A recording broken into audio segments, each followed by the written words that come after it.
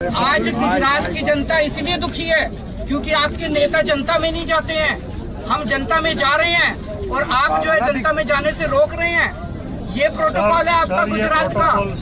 ये इसीलिए इस प्रोटोकॉल ने गुजरात की जनता को दुखी कर रखा है आपके नेताओं को।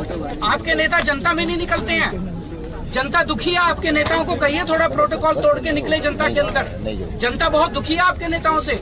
हमें नहीं चाहिए आपकी सिक्योरिटी आप ले जाइए अपनी सिक्योरिटी मुझे आपकी सिक्योरिटी नहीं चाहिए मुझे जनता में जाना है। मुझे जनता में जाना है मुझे आपकी सिक्योरिटी नहीं चाहिए। आप अपनी सिक्योरिटी अपने मुख्यमंत्री को दीजिए। आप अपनी सिक्योरिटी अपने मंत्रियों को दीजिए। मैं जनता का आदमी हूँ जनता के बीच में जाऊँगा मैं। केजरीवाल को रोक दिया है।